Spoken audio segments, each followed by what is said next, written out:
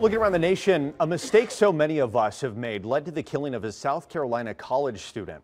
She got in the wrong car, apparently mistaking it for the Uber ride that she had called. Andy Guevara explains what happened.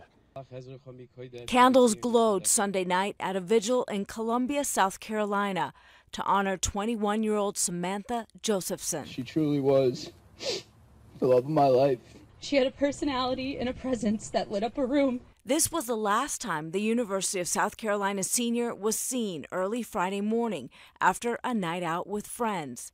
Police say she got into the wrong car when she called for an Uber. Hunters found her body later that day, more than 65 miles away in a remote wooded area.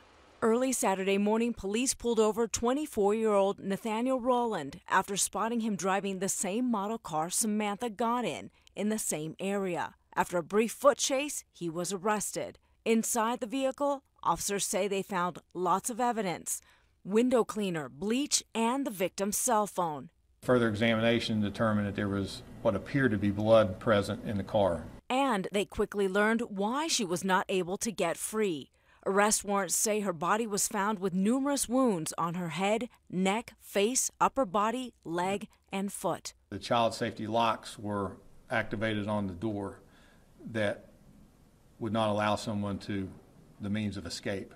Rowland did not appear at a hearing Sunday, but Samantha's mother was there. I cannot fathom how someone could randomly select a person, a beautiful girl, and steal her life away.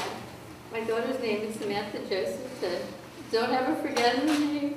Samantha Josephson, shame on him.